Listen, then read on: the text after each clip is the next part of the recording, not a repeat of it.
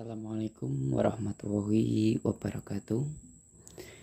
Selamat datang di channel saya.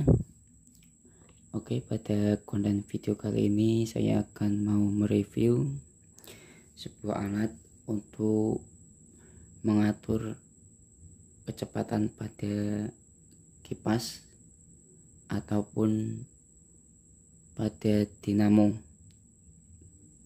yang menggunakan arus DC ya guys Oke ini adalah alatnya.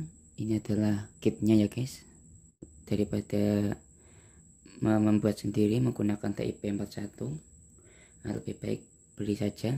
Harganya murah ya guys. Cuma 11 ribuan uh, di toko online. Untuk kit modulnya seperti ini. Nah ini. Ini adalah kit modul untuk mengatur kecepatan pada motor dinamo DC ataupun pada kipas DC seperti ini ya guys. Nah ini. Ini adalah kipasnya. Nanti saya akan uh, dijadikan putaran cepat dan putaran lambat menggunakan kit modul ini. Sebelum untuk memasuki perakitannya guys saya akan mau menerangkan untuk uh, kit modul pengatur kecepatan DC ini. Nah ini maksimal di 5 ampere ya guys. Nah, seperti ini ya guys.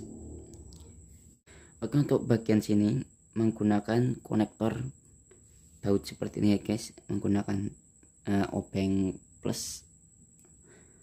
Uh, ini bagian kita pelik bagian bawahnya. Nah ini ini ke motor ataupun ke kipas ya guys. Oke guys uh, ini yang ada motor ini tulisan motor ini ke bagian ke dinamo ataupun ke kipas ya guys yang menggunakan tegangan 12 volt. Terus yang ini adalah DC in DC in ini untuk memasuki ke tegangan dari ke trafo ataupun adaptor ya guys. Nah di sini saya sumber tegangannya menggunakan trafo nah, kotak seperti ini sudah saya rakit ya guys. Menggunakan seperti power supply. Ini saya menggunakan trafo merek King 2 eh, ampere.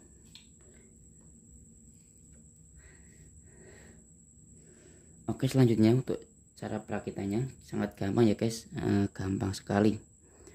Menggunakan obeng plus saja ataupun menggunakan pisau ya. Untuk memutar baut pada di sininya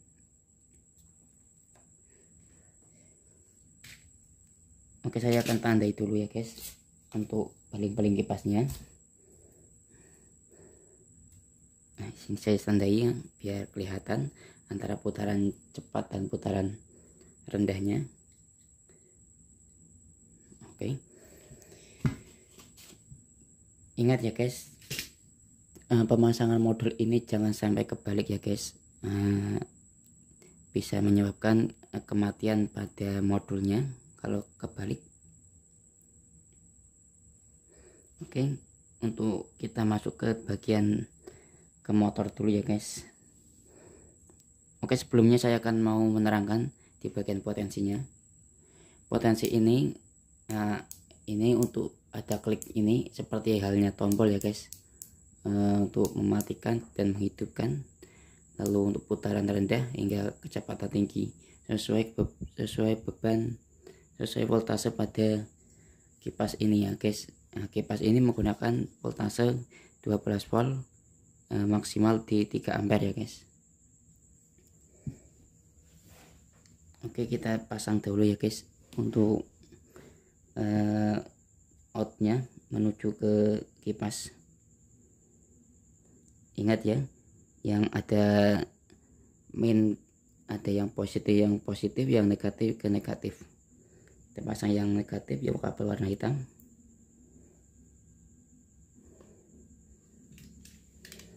Karena ini obengnya kebesaran.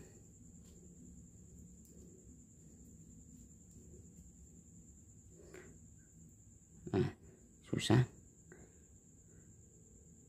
Menggunakan pisau saja ya guys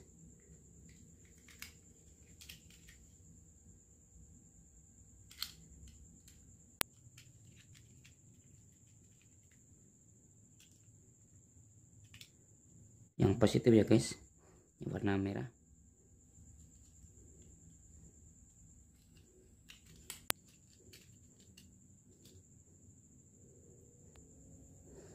Selanjutnya dari sumber arus tegangan. Saya menggunakan trafo seperti tadi saya jelaskan. Yang kabel merah yang ke positif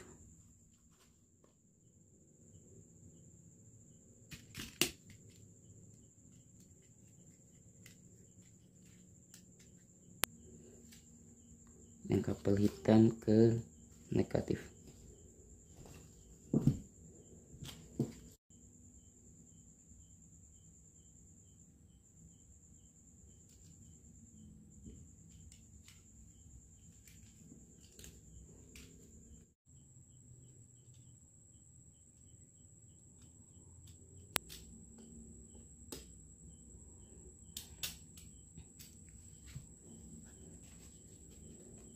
kita masuk ke bagian kiri ya guys untuk klik. Uh, kita cek dahulu ya guys untuk uh, kabel-kabelnya. Pastikan benar jangan sampai salah. Oke ya guys.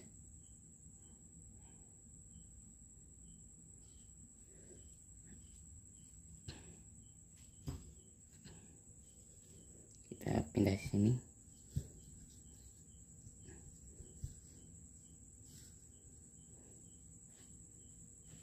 Eh, kita tancapkan untuk voltasenya. Nah ini sudah menyala ya guys. Nah, ini kan belum menyala ya guys. Ya, kita putar. Nah, akan menyala ya uh, lampu led indikatornya. Oke ini sudah menyala ya guys untuk lampu led indikatornya. Kita putar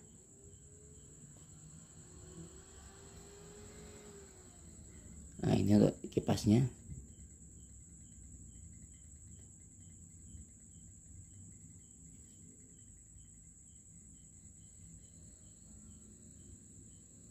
Ini putaran rendah.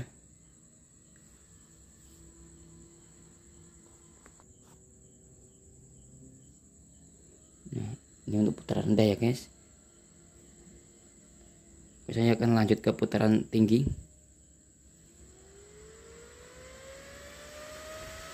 ya ini full. Apabila nah, ini full ya guys.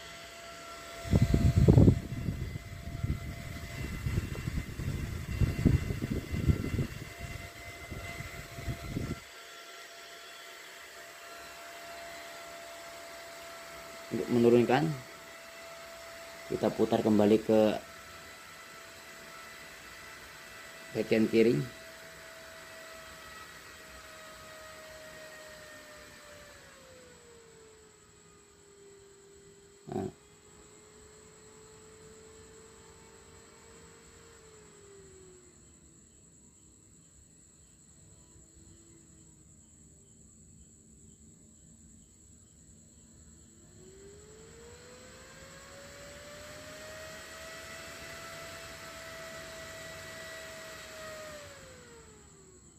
seperti ini ya guys.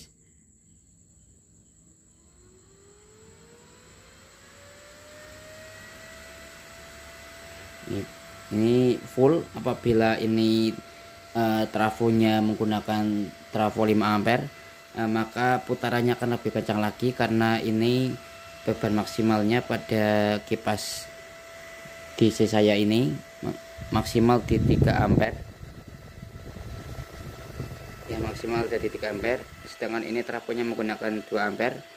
Apabila dimaksimalkan ke 3 ampere sampai 5 ampere nah, maka akan terasa kencang banget.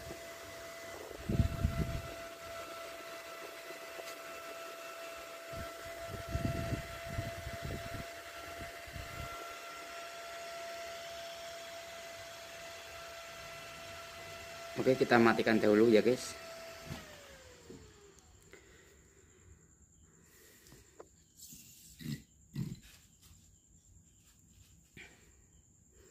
ini eh, pada modul pada modul pengatur kecepatan DC ini uh, ini menggunakan menggunakan transistor tipe LR 7843 ya guys. Uh, tidak terasa panas apabila digunakan selama satu harian tanpa menggunakan uh, pendingin ataupun heatsink.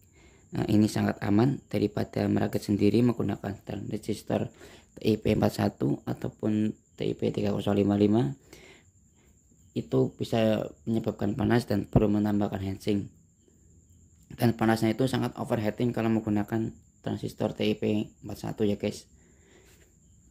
Nah kalau mau keperluan dalam waktu yang lama waktu yang lama misalkan satu harian non-stop lebih baik menggunakan beli saja yang uh, modul kit modul untuk pengatur kecepatan DC ya guys jangan menggunakan transistor TF41 ataupun 3055 karena bisa menyebabkan panas dan bisa over shock ataupun overheating dan menyebabkan kematian pada transistornya Oke okay guys, ini sudah saya rakit dan ini hasilnya seperti ini. Saya sudah saya jadikan uh, untuk penurun kecepatan pada kipas DC ini ya. Ini untuk saya kipasan. Ya guys, ini karena saya tidak ada boxnya, jadi saya cukup sederhana. Saya kupet-kupet dengan solasi ya guys.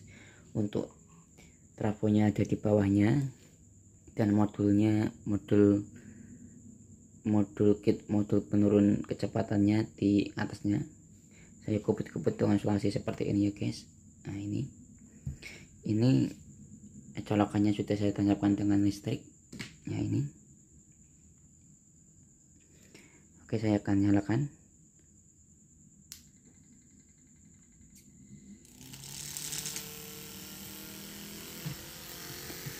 Oke ini sudah terputar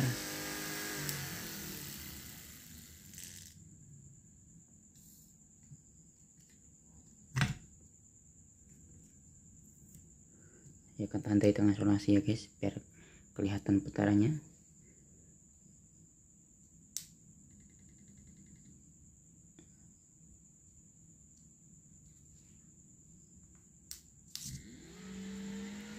Oke sini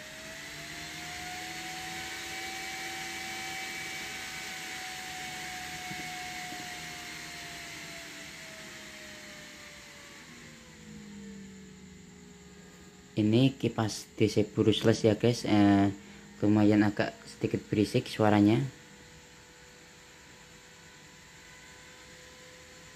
Nah, ini.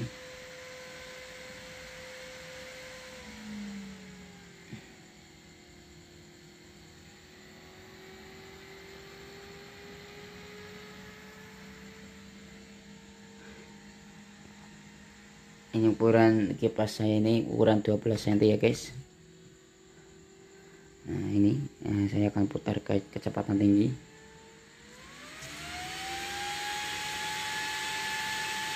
nah, sangat kencang ini anginnya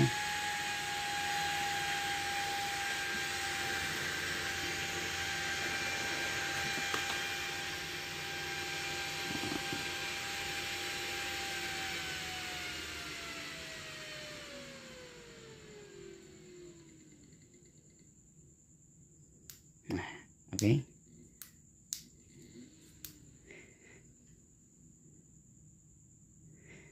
oke okay, guys uh, terima kasih. Oke guys uh, semoga konten kali ini bisa bermanfaat. Semoga selalu diberikan kesehatan selalu dan rezeki yang barokah. Amin amin ya rabbal alamin. Saya akhiri dulu ya guys untuk video kali ini. Dengan assalamualaikum warahmatullahi wabarakatuh